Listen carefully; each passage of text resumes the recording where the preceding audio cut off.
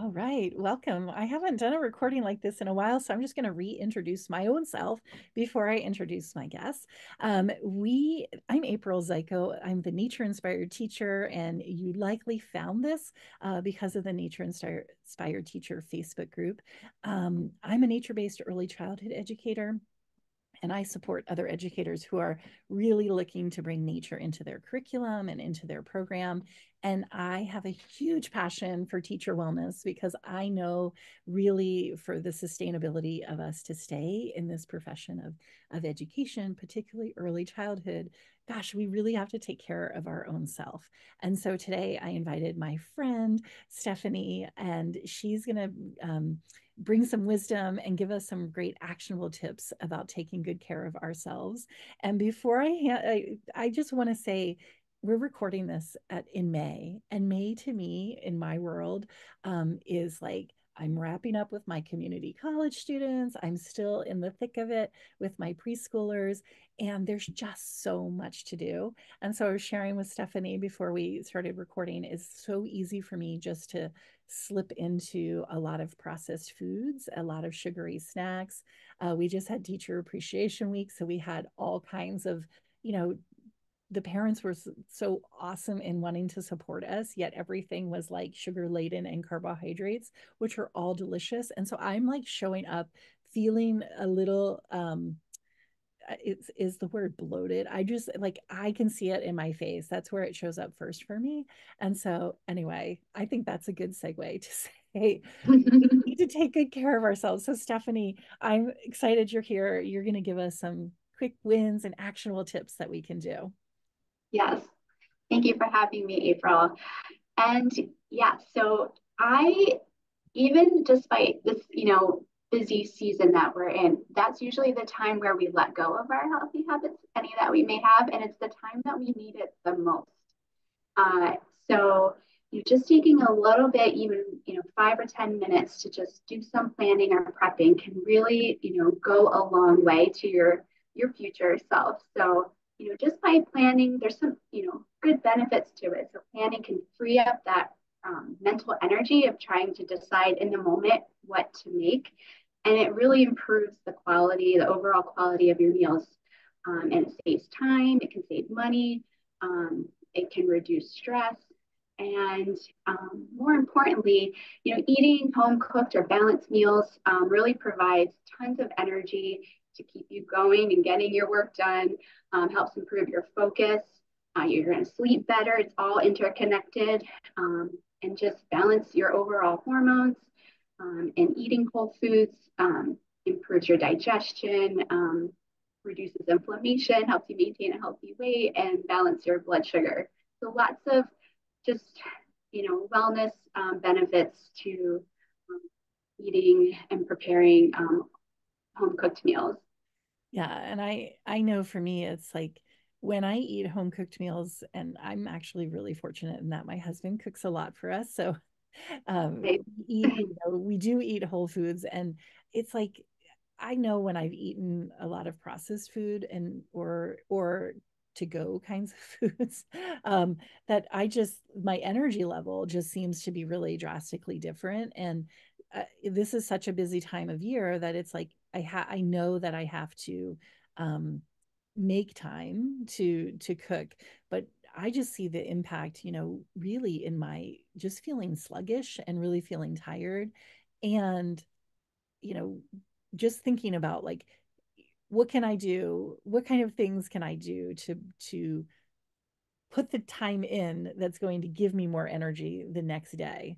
So uh, it's some kind of counterintuitive because you think, oh, you know, gosh, we're getting in late, or you know, we're you know at practice with the kids. Uh, my daughter's doing track this year, and it's like, mm-hmm. okay, I know like tonight, for example, I'm going to be at the track late uh, with her because we're getting towards the end of her season. So I've got to have a plan before I go. Yeah. And that's where I often forget to like, I, you know, I forget to plan ahead. So I I don't know. I, I think you have some recipes, right? Like you have um, some recipes for um, whole food kinds of things. Yes, and that are spring inspired, using some nice um, spring and summer um, ingredients that, um, yeah, I love this time of year because everything's just so fresh and tasty. Um, and yeah, so when you're planning, you know, it's really important when you're looking at your week and planning ahead that you do plan around activities. So look at, you know, your schedule and see what nights you're going to get home late. Um, you know, maybe that will be, um, you know, a leftover night or a slow cooker night. Um, you know, kind of plan that. Don't set yourself up to kind of fail and plan a meal that you know it's going to take an hour and you know you're going to be too tired or you know it's going to be too late to start that meal. Um, and then another fun thing to do is um, as you're planning your kind of your weeks or you know just kind of start where you are. If you're only eating one, one home cooked meal per week, you know, start there. Maybe try to plan one or two for the week and then see how that goes. It doesn't mean that you have to plan all seven, you know, days of the week. But it's kind of fun to change, kind of have like meal categories or themes and just stick to those. That kind of reduces, you, you know, the the um, you know, more it reduces that decision that we have. So for example, you could have like um, you know, ta- you know, Taco Tuesday, um, you know, spring summer bowls on Wednesday. You know, Thursdays could be like a one pan sheet pan roasting or a skillet dish. Um, you know, Fridays could be like a grill night. Um, that could be like dinner categories, and then like breakfast categories could be for the week. Maybe you just do smoothies, um, and then maybe like the next week you do like something like overnight oats. And then for lunch, you know, you can do salads or wraps are always great and just you know easy to do in the in the springtime. I know one of the meals that I struggle with is breakfast because it's mm-hmm. either like, um, you know, I grab something just really carbohydrate laden and coffee, or I skip it all together. And I'm like, I've just set myself up to fail. Um, so what what is a what's a tip around breakfast? Yeah, so a tip around breakfast is to make sure that you're not eating your eating dessert for breakfast let's just say. So you're not having just starches and sugars because that will just set you up for blood sugar roller coaster that will leave you, you're just never going to feel caught up for the day. You're going to have, you know, you're going to be constantly hungry. At 3 p.m., you're going to have that crash and you're going to feel um, just kind of craving sugars and carbs for the rest of the day.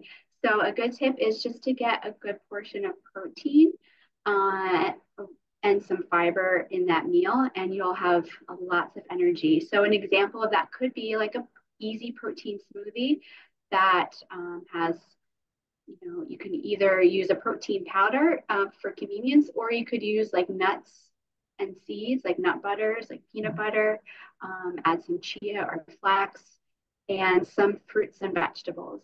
And that can really fill you up for, for hours. Mm. Um, like I said, overnight oats is a good one too, because you can prep that for the whole week or for a couple days and just add in all those things like I that you would add to the smoothie mm. um, as well. I haven't done overnight oats in in years, and so is is that is there a recipe you could share for that? Yeah, yeah, yeah. Okay, there's a couple different ones. Yeah, and okay. if you don't like to eat it cold, I I find it kind of refreshing in the warmer months. But you could also just prep it the night before and then just rewarm it in a pan really quick. Oh, cool. I love that.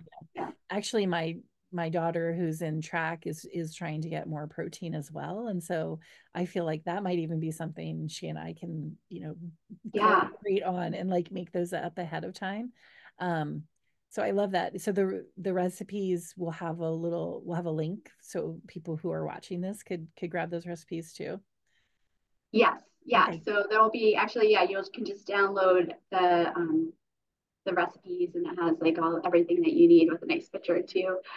And yeah, actually, my daughter uh, loves overnight oats as like a pre or post soccer practice snack. So um, yeah. she's you know starving after practice, and it's just like a nice way to get some, you know, some yeah. healthy you know, nutrition in in her.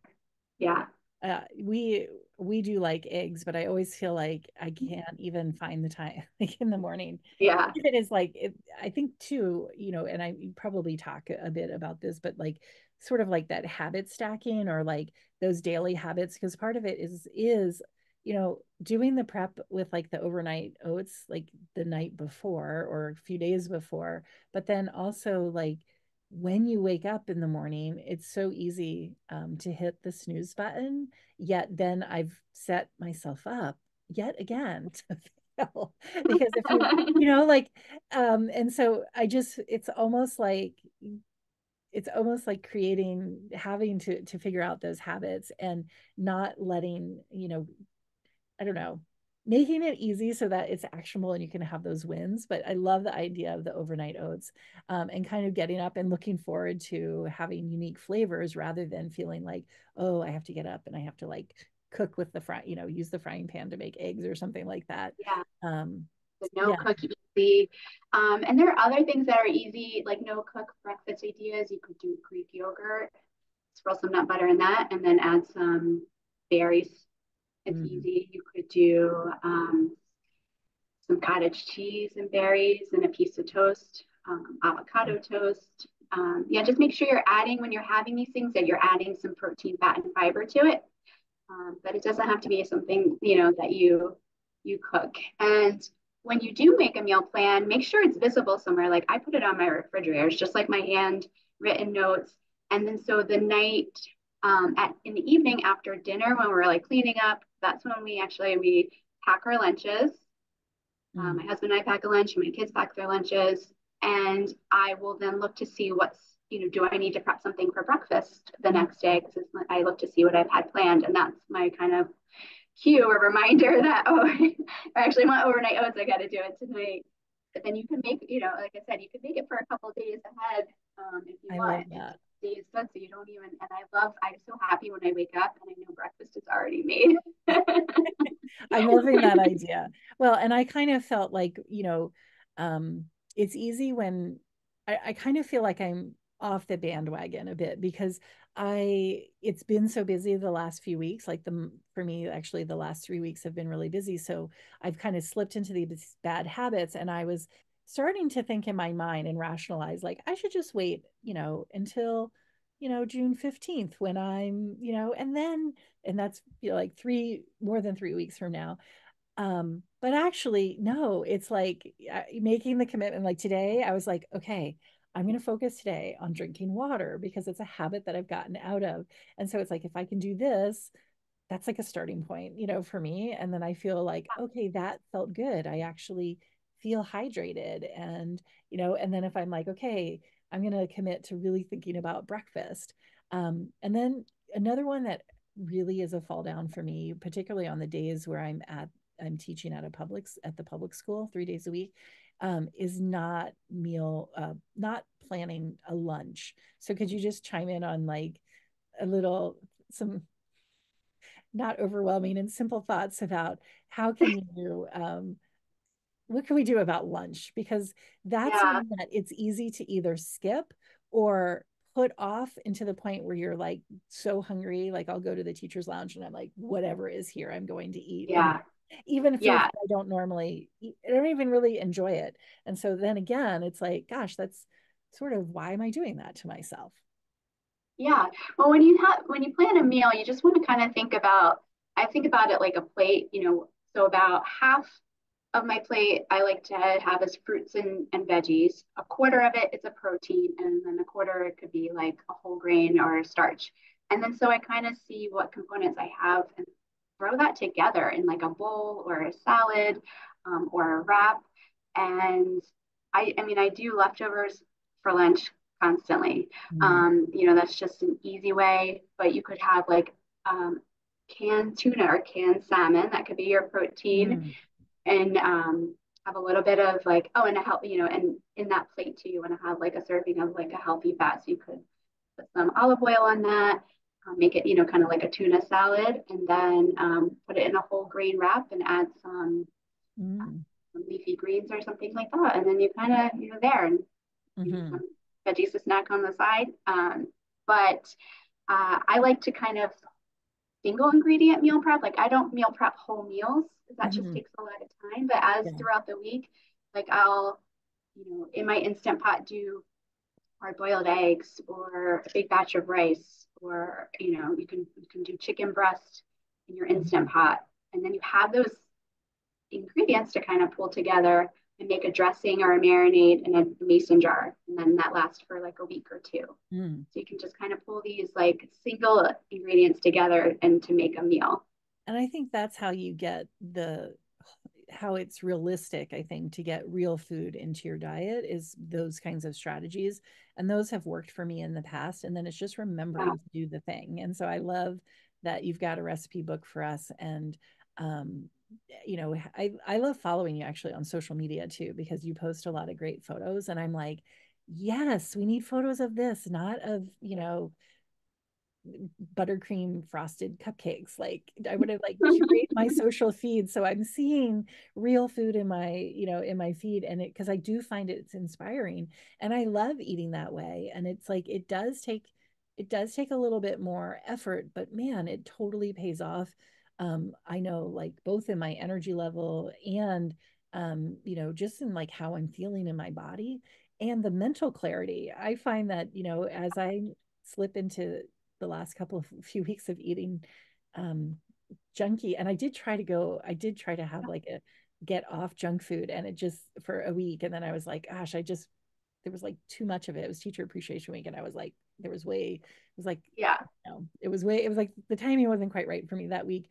But i do know that as i get away from those processed foods it just feels better in our body. And so i love that we we have this. Um, do you want to share where you're most active on social so that people can enjoy your photos yeah. like i do? Yeah yeah. Um, my instagram handle that's probably where i'm most active is um, at master her health. At master her health and i'll put a link in this um, i'm gonna this is gonna be posted in um, in facebook and so or sorry it's gonna be uploaded into youtube and then posted in facebook because we can't do there's a long-winded story about no longer being able to live stream directly into the facebook group. Um, but there'll be links um, under the youtube video. So instagram is at master her health. Um, and then what about the recipe book? Do is there a link that they can click on to to get that from you? Okay yeah yep I'll, yeah i'll give you the link to okay. they can click click on that and download um, it's like a recipe collection book that they can download as a pdf and save it and use however they like I love it. And you're right here in my community in the Northeast Kingdom in Vermont, but it's awesome that people anywhere can connect. Um, and so both having the Instagram and having that recipe is awesome. Um, and do you, I know in the past you've done some like webinars and things too. Do mm-hmm. you, how do people, I guess once they, if they follow you on social or if they get the recipe book, um, they, um, uh, yeah, like do you, would yeah, you doing one I'll of those again? Yeah, I actually, I have a, um, a webinar coming up about resetting your your body and mind through, yeah, just easy, cool. actionable lifestyle tips and nutrition, and um, yeah, and it's free. So, awesome. yeah, um, I can share. You know, we can share that too as well. Okay, very cool.